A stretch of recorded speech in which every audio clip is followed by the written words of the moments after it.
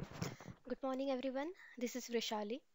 In my last lectures, we discussed about introduction to microcontroller and microprocessor and also we discussed about PIC18 microcontroller, their features, their architecture diagram or block diagram.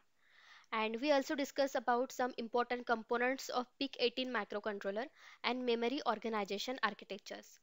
I have mentioned the link of that videos in below description box. So let's see what are the registers and addressing modes in PIC18 microcontroller. So here we discussed registers and addressing modes.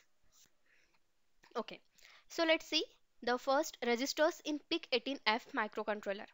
So there are various uh, registers are used. So registers are generally used for to storing temporary information in bits format. So the first register is special function register that uh, and general purpose register. So we discussed in detail SFR and GFR in last lecture. So special function register generally used to store some uh, status of particular peripheral functions and uh, control signals of particular peripheral functions. Now general purpose registers are used to store some scratch pad or some uh, temporary informations like addition, subtraction, multiplication or temporary variables that we used in our program. Next working register. So that is W register. This register generally used to perform all the arithmetic or logical functions and these registers work as a accumulator. Now the next register is status register. So status register generally used to store the flags and they stored always information either 0 or 1 format. Mean they show the status whether it is high, low in this way. So the status operations are done by the ALU. Now the just see here in this uh, status register this is the detailed uh, block structure of the status register. And there are some uh, five features are there. The first one is a C. Suppose uh, while performing a arithmetic operation suppose carry is generated. So at that time carry is stored into this C uh, flag. Or if uh, subtraction purpose if borrow is generated so this set at this particular flag. Next digital carry flag if any digital carry flag is generated while performing the operation, this information stored here. Next 0. So this set when result of an operation is 0, then overflow flag. Means suppose you have to perform the addition of 16 bit numbers and the re re results are generated into the 17 bits or 18 bits numbers. So at that time generate the overflow, overflow flag. So at that time this information are stored into this overflow flag. Then n means negative flag. So any negative results are generated while performing the arithmetic and logic operations. So at that time this information stored into this N flag. So this is a flags in status registers.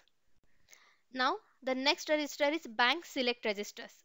So we discussed BSR, then FSR, PC and SP. These four registers in detail in my last video, right?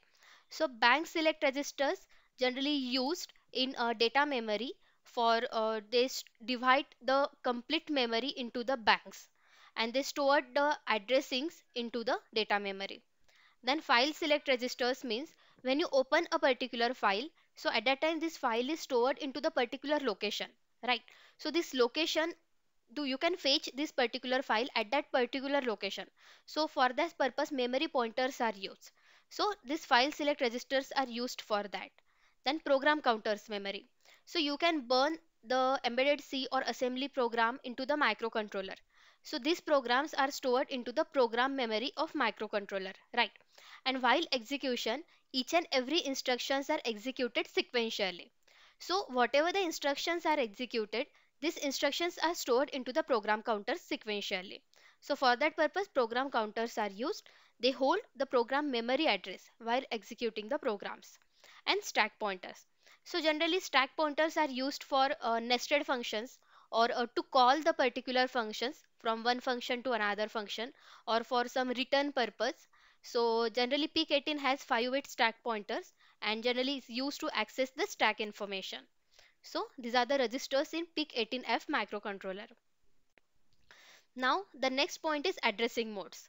So in PIC18F 4550 microcontroller having 4 bit addressing 4 addressing modes immediate addressing, direct addressing, registers indirect addressing and index addressing modes. So let's see in detail. The first one is immediate addressing modes. So in this addressing modes, operand is a number or constant, not an address. So generally just considered, uh, just focus on these examples. Okay. So the first example is move AL 35H. So here this 35H, this value are directly stored into the AL register. Right. Now next one, see here that is 01100H. This binary information are directly stored into this add LW register. Right. So means you can store directly the information or addressing information into the registers. So this is called as immediate addressing modes. So uh, this advantage of immediate addressing modes is value is explicitly present in instruction. So here values that is 35OH, these binary numbers values are directly present. And disadvantages is limited size for the operand. Limited size for the data is suited only. So that is immediate addressing modes. Now see here the next addressing mode is direct addressing modes which is also called as absolute addressing modes. Now see here in this example. First example is add AL 0301. So the meaning of this instruction is whatever the value are present at this location 0301 these values are stored add into this AL that is accumulator register. Okay? The next example is move F 0x30 port C. Means whatever the contents are present at port C these contents are moved to 0x30 location right? So this is the direct addressing mode. See here in this example below diagram add R2A means whatever the content present at A this content are stored at add up to the R2 right? So currently A is blank. So there is no any contents are present here. So these contents are not st uh, directly stored into the R2. So the advantages are simplest for all addressing modes means you can directly uh, store the content on that particular location into the particular file or particular registers and disadvantages is provided limited address space. So here each and every instruction contain the address of location in memory where value of the operand is stored. Now the next one is register indirect addressing modes. So just focus here in this example in below diagram. See here load R3 and R2. Okay. Now see here R2 means this R2 that is in process register and R2 A value is stored. So A is the address and A address 200 value is stored right. So this 200 value is placed load at the R3 that is load R3 and R2 means 200 value load at R3. So this is called as indirect addressing modes. You can indirectly call R2 means R2 means A and A at the A 200 is stored right. So this is called as indirect addressing modes. So the address field of instruction specify address of memory location that contain effective address of the operand right. So the advantages is same set of instruction can be used multiple times. You can fetch any information from anywhere then the disadvantages is number of memory references is more means you can fetch r2 to a then a again has some addresses stored. Again it goes to next address. Means multiple reference pointers are there. This is the disadvantages. So this is called as registers indirect addressing modes. Now the next one is indirect index addressing mode. See here in this example load ri x of r2 okay? Now see here. X of r2 at R2, which information is stored? A, that is address. Now see here at A, A at 100 value is stored, right? So 100 is moved to Ri, that is R3. See here, here 100 value is stored. Then that is Ri, means it goes to plus plus, next location. So next A plus 4, that is 200 is stored. So next 200 value is stored, right?